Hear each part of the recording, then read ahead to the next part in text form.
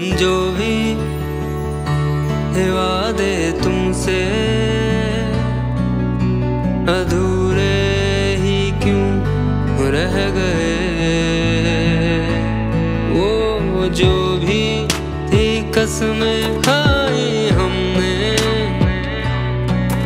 वो पल